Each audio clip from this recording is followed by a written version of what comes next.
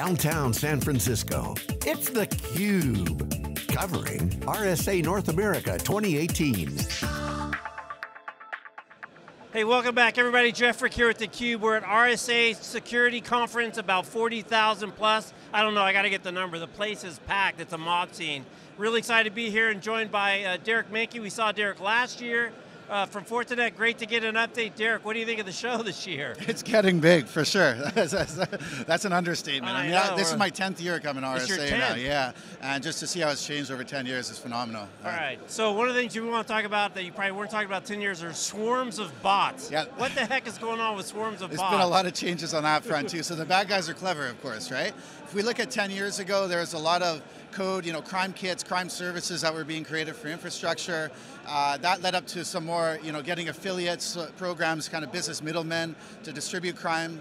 Uh, so that, that drove a lot of the numbers up. But literally, in the last three quarters, if we look at hacking activity, the number has doubled from FortiGuard Labs. It's gone from 1.1 million to 2.2 to 4.4 million just over the last three quarters. So we're looking at an exponential rise to attacks. The reason that's happening is because automation right. and artificial intelligence is starting to be put into black hat code. And so the swarm concept, if you, if you think of bees or ants in, in, nature, what do they do? They, they work together, it's strength in numbers from a black hat's point, uh, point of view. Right, they right. work together to achieve a common goal. So it's intent-based attacks. And that's what we're starting to see as precursors of some code, right? These IoT botnets, we're actually seeing nodes within the botnet that can communicate to each other, say, hey guys, I found this other target in the network, let's go launch a DDoS attack, or let's all try to take different bits of file information from those targets. So it's that swarm mentality where it takes the attacker more and more out of the loop. That means that the, the uh, attacks are just also increasing in speed and becoming more agile too.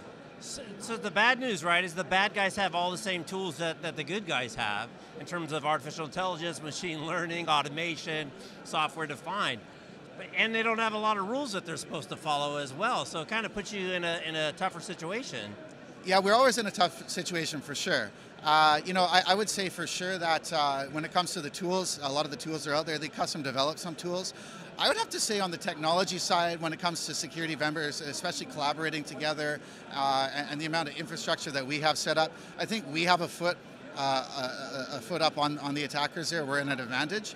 But you're absolutely right. When it comes to rules, uh, there are no rules when it comes to the black hat attackers, and we have to be very careful of that, how we proceed, of course, right? And that's really the idea behind the alliance, right? So that you guys are sharing information, so you're sharing best practices, you're picking up patterns, so everybody's not out there all by themselves. Absolutely, it's a strength in numbers concept uh, on our end too. So when we look at Cyber Threat Alliance, Fortinet being a founding member, working with all other leading security vendors in the space, it's how we can team up against the bad guys, share actionable intelligence, deploy that into our security controls, which makes it a very uh, effective solution, right? By teaming up, stacking up our security, it makes it uh, much more expensive for cyber criminals to operate. Right, that's yeah. good. That's a good thing. Yeah, yes. And then what about kind of this integration of the NOC and the SOC? Yeah. Because, you know, it, security is so much more important for all aspects of the business, right? It's not layered on, it's not standalone, it's really got to be integrated into the software, into the process and the operations. Absolutely. So uh, the good news is, if you look at things like we're doing with the security fabric, a lot of it is how do we integrate, how do we bring technology and intelligence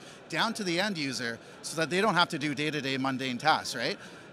Talking about the swarm networks, what's happening on the black hat side, attackers are getting much quicker, so defense solutions have to be just as quick, if not faster. And so that's what the NOC SOC integration is about, right? How we can take network uh, security visibility, put it into things like, uh, like our FortiAnalyzer Manager, SIM appliances, right? Being able to bring those solutions. So again, when it comes to a NOC and SOC operation, how do you bring visibility into threats? How do you respond to those threats? More importantly, how do you also have automated uh, security defense, so agile defense put up?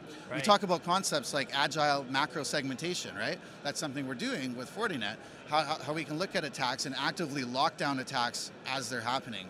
It's a really important concept, right? To really just to isolate them within kind of the, where they've caused the, the, the uh, harm, keep them there until you can handle them and not let them just yeah. go bananas Yeah, so you can think of it as like an active quarantine. Uh, we've also launched our threat intelligence services. So this is bringing the why. There's a lot of intelligence out there, there's a lot of logs. We have now threat intelligence services that we can bring to security operations centers to show them, here are the threats happening on your network, here is why, it, it is a threat. Here's the capabilities of the threat, here's how you respond to it. So it helps from a CISO perspective uh, prioritize response on the incident response model to threats as well. All right. Well, Derek, we got to let it uh, go there. We are in a super crazy time crunch. We'll get you back in the studio and have a little bit more time. Okay, Not so appreciate crazy. it, All yeah. right. He's Derek Manky. I'm Jeff Frick. You're watching theCUBE from RSA 2018. Thanks for watching.